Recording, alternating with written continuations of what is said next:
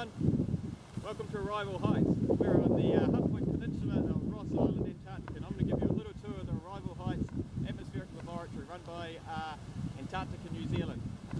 It's an ASPA, meaning it's a scientifically protected area, no electromagnetic noise. It's been operational, um, Arrival Heights has been here since probably the 50s, doing different aurora and radio stuff, but now we're looking at ozone and some uh, upper winds and atmospheric stuff A little building just up there. We're going to go visit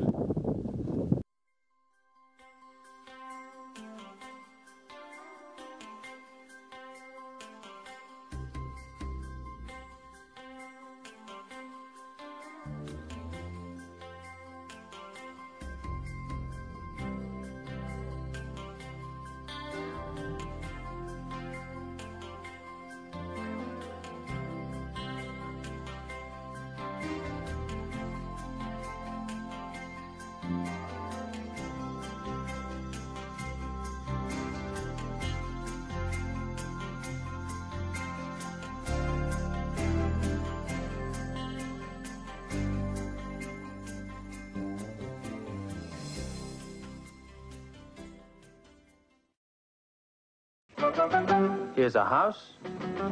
Here's a door. Windows, one, two.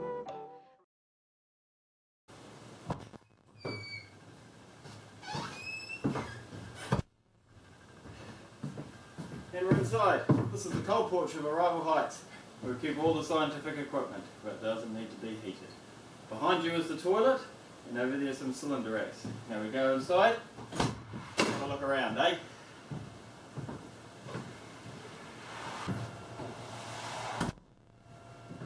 G'day again. Right, we're in the hallway.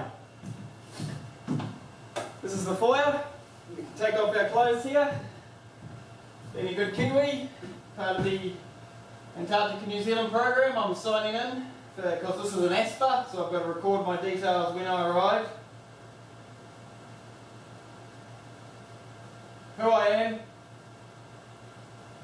what I'm doing here, and when I leave.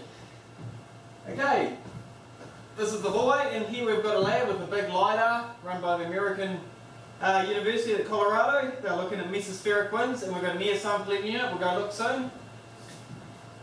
Over in this room, we've got a Fourier transform interferometer and a Dobson spectrophotometer looking at trace gases in the atmosphere, mainly ozone, greenhouse gases, um, pollutants, and some in situ sampling for ozone in this one for uh, yeah in situ ozone, and we've got um, UV-vis spectrometers, MAX-DOAS spectrometers run by NIWA. Um, I'm very NIWA biased.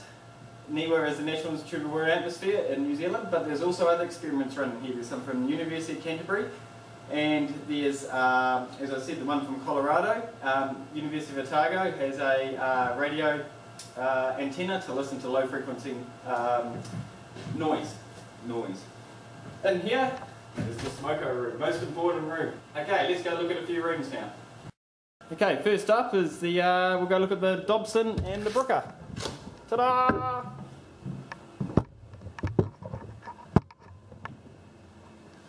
Down there's the Bruker. And over here is the Dobson. With the periscope and hatch. And a light on.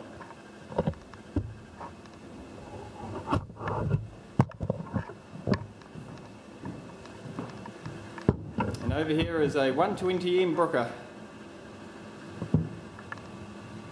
With a solar tracker up there. Pretty exciting stuff. Okay, on to the next room.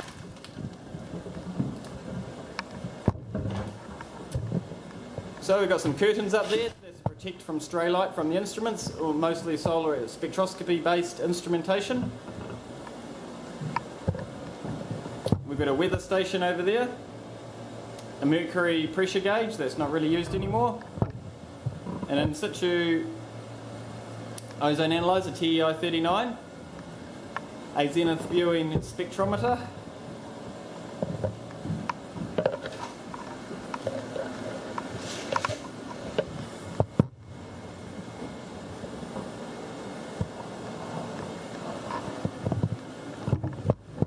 aardvark, University of Otago, Craig Rodger's.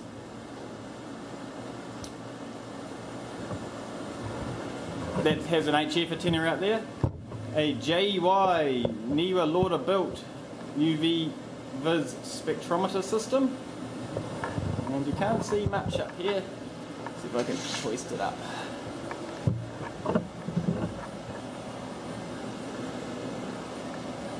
And we'll go to the 8S2, which is run in conjunction with the University of Heidelberg.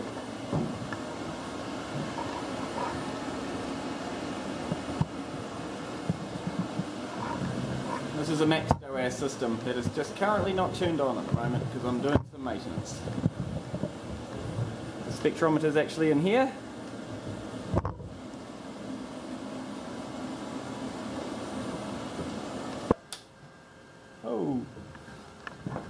Okay, we've got a really big LiDAR system to look at mesospheric temperatures. And we've got a flask sampling system. Use it from the mast outside. We've got small flasks collected over here. And we've got big cylinders to collect about 800 psi of air for carbon monoxide, carbon 14 isotope analysis. Coming down the side of the laser.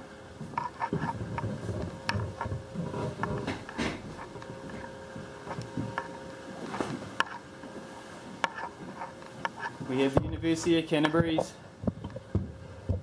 mesospheric wind Doppler radar. I can make the noise. As we come to have a break after we do work up at Arrival Heights.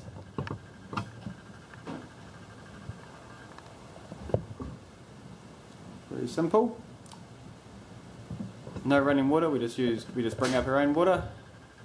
We've got a fridge and a microwave, we've got a kettle or a jug, that's the main thing. Okay, as I mentioned, we've got a lot of equipment here that um, has got to look up into the atmosphere and look at the sun or the moon, or open up hatches for the LiDAR lasers to get out. So we'll go up on the roof and have a look. Come with me.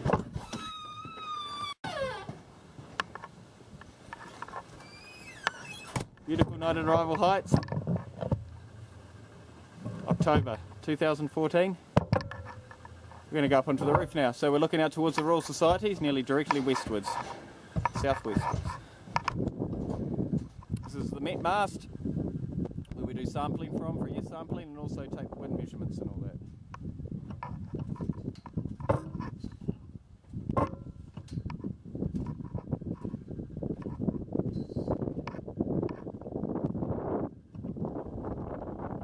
Okay, we're up on the roof. A big walkway all the way around for health and safety, but also great access. Up there is uh, the American lab, various hatches and solar tracking um, equipment, LiDAR. Looking around to Crater Hill, Scott Base is just down over there, Observation Hill. McMurdo's just down there.